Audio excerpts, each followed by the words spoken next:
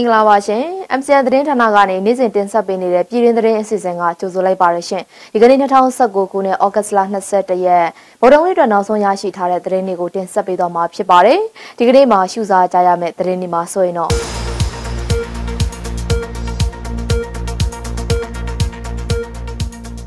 မြမစွမ်းရင်ကဏ္ဍမှာဂျပန်နိုင်ငံရဲ့ယင်းနှိမ့်ညွံ့နှံမှုကိုကြိုးဆိုတယ်လို့နိုင်ငံတော်တိုင်ပင်ခံပုဂ္ဂိုလ်ဒေါအောင်ဆန်းစုကြည်ကပြောကြားလိုက်တဲ့သတင်း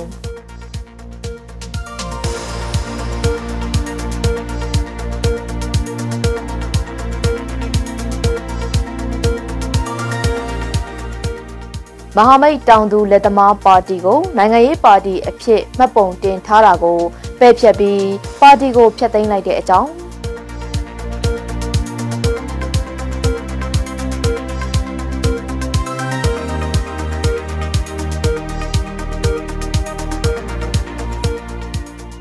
ဝတ်သက်ယောဂကာကွယ်ဆေးထိုးနှံခြင်းလုပ်ငန်းကိုအထူးအလေးပေးပြီးတော့65ရာခိုင်နှုန်းကျော်လွှမ်းခြုံမှုရှိစေဖို့အတွက်ဆောင်ရွက်သွားမယ်တဲ့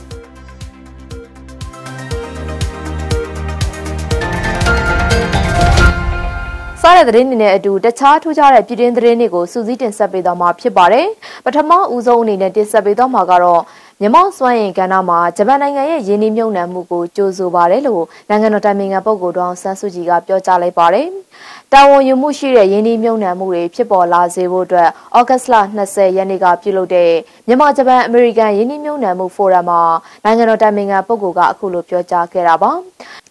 လက်ရှိတီလဝါအထူးစီးပွားရေးဆောင်မှာကုမ္ပဏီပေါင်း108ခုယင်းနှိမ့်မြုံနှံနေပြီးတော့အဲ့ဒီကုမ္ပဏီထက်ဝက်ကျော်မှာဂျပန်ကုမ္ပဏီတွေဖြစ်ကြောင်းနဲ့ဂျပန်နိုင်ငံရဲ့မော်တော်ကားထုတ်လုပ်တဲ့ကုမ္ပဏီတွေဖြစ်တဲ့ Suzuki နဲ့ Toyota တို့အပြင်ယခု Probiotics Drink လုပ်ငန်းလည်းပါဝင်ကြောင်းအခုလိုမြန်မာစွမ်းအင်ကဏ္ဍမှာဂျပန်နိုင်ငံရဲ့ယင်းနှိမ့်မြုံနှံမှုကိုကြိုးဆိုကြောင်းနိုင်ငံတော်ဒါမင်ငံပုဂ္ဂိုလ်တော်ဆန်းစုကြည်ကပြောကြားခဲ့ပါတယ်ရှင် မဟာမိတ်တောင်သူလက်သမားပါတီကိုနိုင်ငံရေးပါတီအဖြစ်မှတ်ပုံတင်ထားတာကိုပယ်ဖျက်ပြီးတော့အဲ့ဒီပါတီကိုဖျက်သိမ်းလိုက်ပြီးဖြစ်ပါတယ်။မဟာမိတ်တောင်သူလက်သမားပါတီကို2015ခုနှစ်တုန်းကနိုင်ငံရေးပါတီဖြစ်မှတ်ပုံတင်ခွင့်ပြုခဲ့တာပါမဟာမိတ်တောင်သူလက်သမားပါတီကိုပြီးခဲ့တဲ့ဇန်နဝါရီလကနေဇူလိုင်လအထိ6လကြာယာယီရက်ဆိုင်ပြီးတဲ့နောက်ပါတီတွင်းပြဿနာတွေပြေလည်အောင်ဖြေရှင်းဖို့ပြည်ထောင်စုရွေးကောက်ပွဲကော်မရှင်ကညွှန်ကြားခဲ့ပါတယ်ဒါပေမဲ့တတ်မှတ်ကာလကုံဆုံးတဲ့အထိပါတီတွင်းပြဿနာတွေပြေလည်အောင်ဖြေရှင်းနိုင်ခြင်းမရှိတာ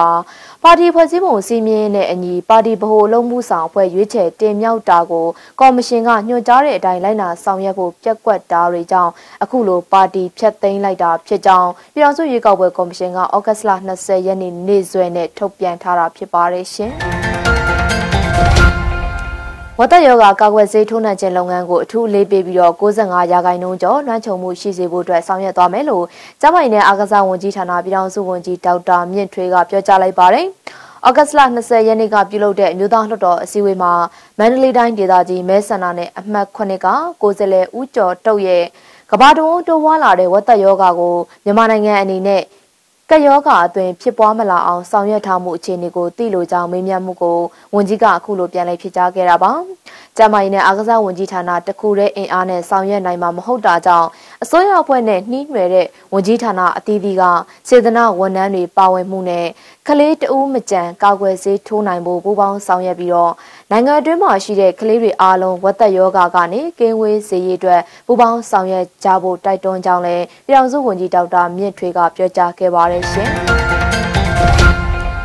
ညာရေးကဏ္ဍရဲ့သင်ရိုးညွှန်တန်းပိုင်းနဲ့ပတ်သက်ပြီးတော့အရင်ကထက်ရပ်ဖက်အဖွဲ့အစည်းတွေကိုပါဝင်ဆွေးနွေးခွင့်တွေပုံမရရှိလာတယ်လို့ Kanti Library Foundation ရဲ့ Programming Director ကပြောပါတယ်။ဒီသတင်းကိုတော့ MCN သတင်းတောက်ထိထိကတင်ဆက်ပေးထားပါတယ်ရှင်။အရင်ကပညာရေးခန်းကဏ္ဍနဲ့ပတ်သက်ပြီးဆွေးနွေးပွဲတွေဟောပြောပွဲတွေမှာတိုင်းရင်းသားဖွဲ့စည်းတွေနဲ့အခြားသောအရက်ဖက်ဖွဲ့စည်းတွေကပါဝင်ဆွေးနွေးခွင့်ရရှိဖို့ခက်ခဲခဲ့တာပါ လက်ရှိချိန်မှာတော့ပညာရေးခန္ဓာရဲ့သင်ရိုးညွှန်တဲ့အပိုင်းတွေမှာအရက်ဖက်ဖွဲ့စည်းတွေကိုပါဝင်ဆွေးနွေးခွင့်တွေပေးလာပြီးလို့ Candy Library Foundation ကပြောပါတယ်အ ရင်ယေဘူးရအနေနဲ့ကြည့်ရမယ်ဆိုလို့ရှိရင်ဆရာဆရာမ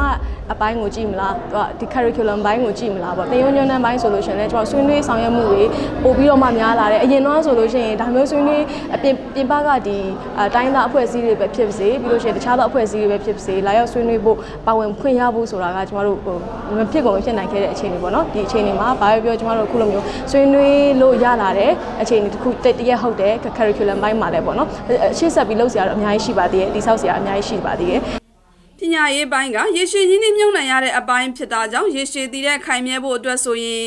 ရက်ဖက်ဖွဲ့စည်းတွေရဲ့ပူးပေါင်းပါဝင်မှုကလည်းအရေးကြီးနေတာပါဒါအပြင်ပိုကောင်းတဲ့ပညာရေးစနစ်ကိုဖော်ဆောင်နိုင်ဖို့အတွက် policy level အရပါဆွေးနွေးနေတာကြောင့်အနာဂတ်အတွက်ပညာရေးကဏ္ဍမှာမျှော်လင့်ချက်ရှိလာပြီလို့ပြောပါတယ်ကဲလက်ရှိပညာရေးစနစ်ကကျမတို့အနေနဲ့လည်း အားလုံးသိကြတဲ့အတိုင်းပဲဒီနှစ်ပေါင်း60ကျော်ပေါ့နော်ကျမတို့ဒီစစ်ဘေးတန်သင်ခဲ့ရတဲ့အတွက်ကြောင့်မလို့ဒီအတွက်ကောင်းကျိုးဆိုးပြစ်တွေအမှန်သမျှကိုကျမတို့အခုလက်ရှိအခြေအနေမှာအဲကြုံတွေ့နေရတယ်ခံစားနေရတယ်ဆိုတဲ့အတွက်ကြောင့်မလို့ပြပြပြောင်းလဲရေးအပိုင်းမှာပညာရေးဆိုတာကလည်းသူကရေရှည်ရင်းနှီးမြှုပ်နှံရတဲ့ဘိုင်းဖြစ်တယ်ပေါ့နော်ဆိုတော့ရှိတဲ့အနာတွေကိုကျမတို့ကကုနေကုသနေရတယ်လို့တစ်ဖက်တစ်လမ်းမှာလည်းတကယ်ရေရှည်တည်တဲ့ခိုင်မြဲတဲ့ပိုကောင်းတဲ့ပညာရေးစနစ်ကိုခေါ်ဆောင်နိုင်ဖို့အတွက်ကိုအဲတနေ့တနေ့တစ်ပုံအဖြစ်ဟို policy level အရပါပေါ့နော်ဆွေးနွေးနေရတွေကိုမြင်ရတဲ့အတွက်ကြောင့်မလို့ကျမအနေနဲ့ကတော့အနာဂတ်အတွက်အဲညှော်လင့်ချက်ရှိပါတယ်မြန်မာနိုင်ငံရဲ့ပညာရေးစနစ်ပုံမအားကောင်းလာဖို့အတွက်အစိုးရအပါအဝင်ရက်ဖက်ဖွဲ့စည်းတွေနဲ့ကျောင်းသားမိဘတွေရဲ့သုံးမွေးဆိုင်ပူးပေါင်းဆောင်ရွက်မှုကလည်းအရေးကြီးလိုအပ်နေတာပဲဖြစ်ပါတယ်ရှင် တက်မတော်နဲ့မြောက်ပိုင်းမဟာမိတ်သုံးဖွဲ့ကြားတိုက်ပွဲတွေဆက်ပြီးတော့ဖြစ်ပွားနေတယ်လို့တက်မတော်သတင်းမှန်ပြန်ကြားရေးအဖွဲ့ကဗိုလ်မှူးချုပ်ဖြစ်တဲ့ဇော်မင်းထွန်းကပြောပါတယ်။ဩဂတ်စ်လ20ရက်နေ့ကကြောင်မဲမြို့နဲ့မိုင်20ကွာဝေးတဲ့နေရာမှာတအောင်းလက်နက်ကိုင်အဖွဲ့ TNL နဲ့တိုက်ပွဲဖြစ်ပွားပြီးကုတ်ခိုင်မြို့နယ်နဲ့သိန်းနီမြို့နယ် ကြားမှာလည်းပြစ်ခတ်မှုတွေဖြစ်ပွားနေဆဲဖြစ်တယ်လို့ဗိုလ်မှူးချုပ်ဇော်မင်းထွန်းကပြောကြားခဲ့တာပါ။ကြောင်မဲမြို့မှာတအောင်း TNL ရဲ့ပြစ်ချင်း22ကျင်းပါတဲ့ယာယီစခန်းတစ်ခုကိုတက်မတော်ကသိမ်းပိုက်ရရှိထားပြီးတော့လက်နက်တလက်နဲ့ဆက်ဆက်ပစ္စည်းတွေသိမ်းဆည်းရမိတယ်လို့တက်မတော်သတင်းမှန်ပြန်ကြားရေးအဖွဲ့ကပြောပါရရှင်။ ရခိုင်ပြည်နယ်ကြောက်တော်မြို့နယ်ပုံနယ်ကျုံမြို့ကြားပတ်ခွက်စိတ်ကျေးရွာနဲ့ပြိုင်းတော်ကျေးရွာအနီးမှာဩဂတ်စ်လ20ရက်နေ့ကအေရခိုင်လက်နက်ကိုင်အဖွဲ့ရဲ့မိုင်းခွဲတိုက်ခိုက်မှုကြောင့်ရဲတပ်ဖွဲ့ဝင်2ဦးကြာဆုံးပြီးတော့3ဦးဒဏ်ရာရရှိခဲ့ပါတယ်။ မြောက်ဦးမြို့ကနေစစ်တွေမြို့ကိုပြန်လာတဲ့အမှတ်လေးလုံခြုံရေးရဲကုတ်ကဲမှုအဖွဲ့မှုယုံကရဲမှုဦးစီးစစ်ကြောင်းတက်တဲ့တက်ခွဲတက်ခွဲဟာမနက်ပိုင်းမှာမော်တော်ယာဉ်တွေနဲ့ချီတက်လာစဉ်မိုင်းခွဲတိုက်ခိုက်ခံခဲ့ရတာဖြစ်ပြီးတော့ရဲတပ်ဖွဲ့ပိုင်းမော်တော်ယာဉ်၃စီးလဲပျက်စီးသွားခဲ့ပါတယ်။အခုလိုတိုက်ခိုက်ခံရမှုကြောင့်ရဲရရှိတအူရဲတပ်သားတအူကြဆုံးပြီးတော့ရဲတပ်ဖွဲ့ဝင်3ဦးဒဏ်ရာရရှိခဲ့ပြီးတပ်မတော်စစ်ကြောင်းတွေကနေမြေရှင်းလင်းဆောင်ရွက်နေတယ်လို့မြန်မာနိုင်ငံရဲတပ်ဖွဲ့ကသတင်းထုတ်ပြန်ထားပါတယ်ရှင်။ ပြသထားတဲ့စာအုပ်တွေကနေကြိုင်းနှစ်သက်တဲ့စာအုပ်ကိုရွေးယူပြီးအလူငွေထည့်ဝင်တာတွေစာအုပ်လာရောက်လှူဒန်းတာတွေပြုလုပ်နိုင်တဲ့မွန်ပြည်နယ်ကရေဘေးသင့်ပြည်သူတွေအတွက်စာအုပ်ရောင်းလူပွဲကို6ရက်ကြာပြုလုပ်သွားမယ်လို့ Perfect You လူငယ်ပရာဟိတအသင်းဥက္ကဋ္ဌကိုဟိန်လင်းထွန်းကပြောပါတယ်ဒီစာအုပ်ရောင်းလူပွဲကိုမြန်မာနိုင်ငံစာရေးဆရာတမကနဲ့ Perfect You လူငယ်အသင်းတို့ပူးပေါင်းပြီးဩဂုတ်လ20ရက်နေ့ကနေစပြီးရန်ကုန်မြို့မဟာပနုလပန်းညံရှိမှာပြုလုပ်နေတာပါ ဒီပွဲရရရှိတဲ့အထုံငွေကိုကျွန်တော်ကမွန်ပြည်နယ်မှာရှိတဲ့ရေဘေးတင်ပြည်သူတွေကိုကျွန်တော်ကိုယ်တိုင်ကိုကျဘာရောက်ထူတန်းမှာပေါ့နော်ဘာရောက်ထူတန်းတဲ့ခါမှာလည်းကျွန်တော်ကအခုဖြစ်နေတဲ့ပုံစံတချို့ private အတင်းအများစုကတွားလူတဲ့ပုံစံကျွန်တော်စံဆိုလို့ရှိရင်စံတီးတန့်တွားလူတယ် zero fee တန့်တယ်ဒါပေမဲ့အခုဖြစ်နေတဲ့တချို့နေရာကျတော့လုံးဝတရွာလုံးရေလွှမ်းနေတဲ့နေရာဖြစ်တယ်အဲ့တော့ကျွန်တော်တို့ကမွန်ပြည်နယ်ကိုကျွန်တော်ကိုယ်တိုင်ကိုကျသွားမယ်တချို့စံပို့တဲ့နေရာကိုကျွန်တော်စံပို့မယ်ထမင်းချက်ပို့တဲ့နေရာကိုကျွန်တော်ထမင်းချက်ပို့မယ်အဲ့လိုပုံစံလေးနဲ့တော့တေတေချာပေါ့ပြည်သူလူထုအထိကိုကျွန်တော်ကွင်းဆင်းပြီးတော့တွားလူမဲ့ပွဲလေးပေါ့ဗျာအဲ့လိုမျိုးရှမ်းပုံမဲ့ပွဲဖြစ်ပါတယ်ခင်ဗျာ နိုင်ငံအတွင်းတဘာဝဘေးအန္တရာယ်တွေကြုံတွေ့လာတာနဲ့အလူခံတွေထွက်ပေါ်လာတာကြောင့်အများပြည်သူတွေဝေဖန်မှုတွေပြုလုပ်နေတဲ့အတွက်ပရာဟိတလူငယ်တွေအနေနဲ့စေနာရင်းခံပြီးကုညီနိုင်သလောက်ကုညီမှုတွေပြုလုပ်ကြဖို့ကိုလည်း Perfect You လူငယ်ပရာဟိတအသင်းကတိုက်တွန်းထားပါတယ်။ဟုတ်ကျွန်တော်တို့မြန်မာလူမျိုးတွေမှာအခြေခံစိတ်ရင်းရှိကြတယ်အလူခံတွေ့လို့ချင်းထည့်ကျင်တယ်ဆိုတဲ့စိတ်ရင်းကတော့ရှိပါတယ်။ဒါပေမဲ့အဲ့ကြတော့ကျွန်တော်တို့ဟိုထဲတဲ့လူတွေပဲမှားလားဆိုတော့မမှားဘူးဗျကျွန်တော်အတွေးမှာပေါ့လေထဲလူတွေမမှားဘူးအဲ့တော့တချို့တွေကတော့လုံးကြလိုက်မယ် သူတို့သူတို့ကိုကြိုးရှာပြီးလုပ်ကြလိုက်မယ်အဲ့တော့သူတို့ထံနဲ့သူတို့သွားမယ်လို့ပဲကျွန်တော်ကတော့ပြောချင်ပါတယ်ဗျဘယ်သူ့ကိုကျွန်တော်ကလိုက်ပြီးတော့ဟိုးဟိုးလိုဒီလိုလိုက်ရှာကြည့်လို့လို့ရှိရင်အလူထဲမဲ့လူတယောက်ကအဲ့အလူကန်အဖွဲ့ရဲ့သူနေရထိုင်ရပမာလဲဘယ်အများကြီး plan detail အကုန်လုံးလိုက်ပြီးတော့ကြည့်နေမယ်ဆိုရင်တော့သူ့ဘုတ်အချိန်ဆိုတော့ရှိမှာမဟုတ်တော့ဘူးအဲ့တော့ကူညီနိုင်တော့ကူညီပါသူတို့စေတနာသူတို့ရှောင်းမြဟပ်ပြီးသူတို့ဟာသူတို့သွားပါလိမ့်မယ်လို့ကျွန်တော်ပြောချင်ပါတယ်ဗျမိုးဆက်မပြတ်ရွာသွန်းမှုတွေမြင့်ရင်မြင့်တက်လာမှုတွေကြောင့် နေ့စဉ်ရေဘေးသင့်ဒုက္ခသည်တွေတိုးလာနေပြီးတိုင်းဒေသကြီးနဲ့ပြည်နယ်လေးခုမှာရေဘေးသင့်သူ6000ကျော်လောက်ဟာဘေးလွတ်ရာကိုခိုလုံနေရတာဖြစ်ပါတယ်ခင်ဗျာနေရပြန်မဲ့ဒုက္ခသည်တွေလုံခြုံမှုမိမိဆန္ဒအလျောက်ဖြစ်မှုနဲ့ဂုဏ်သိက္ခာရှိမှုတို့ကိုတေချာအောင်ဆောင်ရွက်ဖို့ဘင်္ဂလားဒေ့ရှ် NGO တွေနဲ့နိုင်ငံတကာ NGO 62ခုကမြန်မာနဲ့ဘင်္ဂလားဒေ့ရှ်အစိုးရကိုတိုက်တွန်းလိုက်ပါတယ်။ဩဂတ်စ်လ20ရက်နေ့က NGO တွေရဲ့ပူးတွဲထုတ်ပြန်ချက်မှာ ရခိုင်ပြည်နယ်တွင်းဘင်္ဂလီတွေရဲ့အခွင့်အရေးကိုအသိမှတ်ပြုဖို့သူတို့ဘဝကိုသူတို့ဆုံးဖြတ်နိုင်တဲ့အခမ်းကဏ္ဍကပါဝင်ခွင့်ရဖို့ကိုလည်းတိုက်တွန်းထားပါတယ်။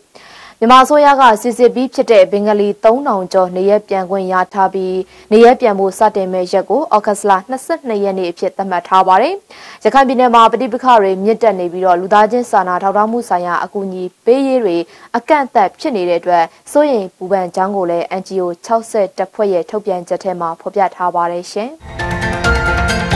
။ ဘင်္ဂလားဒေ့ရှ်ဒုက္ခသည်စခန်းကဘင်္ဂလီတွေနေရက်ပြန်ရေးဟာဘင်္ဂလားဒေ့ရှ်နဲ့မြန်မာနီးတူအိန္ဒိယရဲ့အမျိုးသားအကျိုးစီးပွားလည်းဖြစ်တယ်လို့အိန္ဒိယပြည်ပရေးရာဝန်ကြီးဖြစ်တဲ့ S ဂျိုင်ရှန်ကာကပြောလိုက်ပါတယ်။လုံခြုံစွာလျင်မြန်စွာနဲ့စဉ်ဆက်မပြတ်နေရက်ပြန်ပို့နိုင်ရေးဟာဘင်္ဂလားဒေ့ရှ်မြန်မာနဲ့အိန္ဒိယသုံးနိုင်ငံစလုံးရဲ့အမျိုးသားအကျိုးစီးပွားဖြစ်တယ်လို့သဘောတူညီထားပါတယ်လို့ဝန်ကြီးကဆိုပါတယ်။ ဘင်္ဂလားဒေ့ရှ်နိုင်ငံဂျမ်မူနာမှာရှိတဲ့အစိုးရဧကေဟာမှာမနေ့ကဩဂတ်စ်လ20ရက်နေ့ကဘင်္ဂလားဒေ့ရှ်နိုင်ငံသားရေးဝန်ကြီး AK အဗ်ဒူမိုမင်နဲ့တွေ့ဆုံစဉ်အိန္ဒိယပြည်ပရေးဝန်ကြီး S ဂျန်ရှန်ကာကအခုလိုပြောခဲ့တာဖြစ်ပါတယ်။အိန္ဒိယနိုင်ငံဟာတရားမဝင်ဝင်ရောက်လာတဲ့ဘင်္ဂလီမွတ်စလင်တွေကိုစီစစ်ပြီးတော့မြန်မာအစိုးရနဲ့ညှိနှိုင်းပြီးပြည်နှင်ဒဏ်ပေးနေတာလည်းဖြစ်ပါတယ်ရှင်။ ရန်ကုန်နိုင်ငံသားဘာသာတက်ကရိုကျောင်းသားတွေရဲ့ဤပညာနဲ့ပေါင်းဆက်ရေးဆွဲထားတဲ့တပ်ဝင်လှုပ်ရှားနေတဲ့ပကြီကားတွေကို application အသုံးပြုပြီးကြည့်ရှုနိုင်မှာဖြစ်တယ်လို့ကျောင်းသားတွေကပြောပါတယ်။ရန်ကုန်နိုင်ငံသားဘာသာတက်ကရိုကျောင်းသားတွေစုပေါင်းပြီး Escape from Rain မိုးရသည့်လွတ်မြောက်ခြင်းခေါင်းစဉ်နဲ့ဒုတိယအကြိမ်မြောက် Ash Show ကိုဩဂုတ်လ23ရက်နေ့ကနေ15ရက်နေ့ထိပြုလုပ်ခဲ့တာပါ။တော့ဒီဘွဲမှာပုံ၄ပုံပြထားပါဗျာဟုတ်အဲကျွန်တော်ပထမအဆုံးတစ်ပုံကကျွန်တော်ဒီပုံပေါ့နော်ဒါကကျွန်တော် ကျွန်တော်ဒီဟာကျွန်တော်ပေါ့နော်ဒီဟိုတောင်မလေးတယောက်အကြောင်းပါနော်ဒီတောင်မလေးကပြည့်တယ်စာတယောက်အကြောင်းကိုကျွန်တော်ပုံဖော်ပြီးဆွဲထားတာပါဗျာအဲ့ဒီအပြင်ကျွန်တော်ဒီပုံထောက်ပတ်ထောက်ပတ်ပေးတဲ့အနေနဲ့ကျွန်တော်ပေါ့နော်လင်းအင်ရာဆိုဆိုတရားပေါ့နော်သူကလည်းအဲ့ပြည့်တဲ့စာကြောင့်ရေးထားတာပေါ့အဲ့တပြာနဲ့ဒီပုံတွေက vibe ကတူနေတော့ကျွန်တော်သူ့ကိုပြောပါဒီပုံလေးနဲ့ဒီစာလေးနဲ့တွဲလို့များရပါမလားပေါ့နော်သူကရရအဆင်ပြေရဆိုတော့ကျွန်တော်တို့ဒီနှစ်ခုပေါ့နော်ဒီပုံရယ်ဒီတပြာရယ်တွဲပြီးတော့ဒီမှာပြတ်ထားမိရပါများဟုတ်တဲ့ဟုတ်ရကို ဒီပွဲမှာပကြီးတွေကို form application သုံးပြုပြီးကြည့်ရတဲ့ illustration တွေရုံငိမ်ဓာတ်ပုံတွေကြပြားတွေအပြင်တခြင်းတိဆိုဖြော်ပြတာတွေလည်းပါဝင်တာဖြစ်ပါတယ်။ကျောင်းသားတွေရဲ့ကိုပိုင်စိတ်ကူးနဲ့ပုံဖော်ထားတဲ့ပကြီးကားတွေကိုနီးပညာနဲ့ပေါင်းစပ်ပြီးလက်ရမြောက်တဲ့ illustration တွေဖြစ်ဖန်တီးပြသထားတာလည်းဖြစ်ပါတယ်။ဒါ့အပြင်ပကြီးကိုစကန်ဖတ်ပြီးကြပြားတွေကိုလည်းနားထောင်နိုင်မှာဖြစ်ပါတယ်။ Treasure Club ရဲ့ Photography Club ရဲ့ Illustration Club တွေကပူးပေါင်းပြီးတော့ဟာ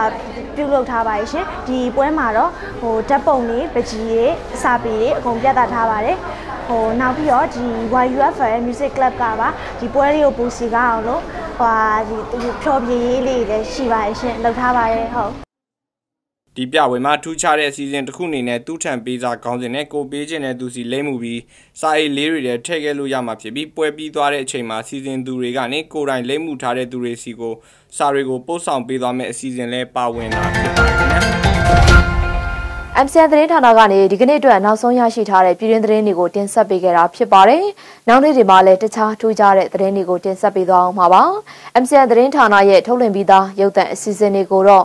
www.mcntv.biz နဲ့ Facebook လူမှုကွန်ရက်စာမျက်နှာပေါ်မှာဆိုရင်တော့ MCN TV News မီနဲ့ဝင်ရောက်ကြည့်ရှုနိုင်ကြမှာဖြစ်ပါတယ်။မြို့သားပိုင် MCN သတင်းဌာနရဲ့ရုပ်သံအစီအစဉ်တွေကိုကြည့်ရှုအားပေးခဲ့ကြတဲ့အတွက်အထူးပဲကျေးဇူးတင်ရှိပါတယ်ရှင်။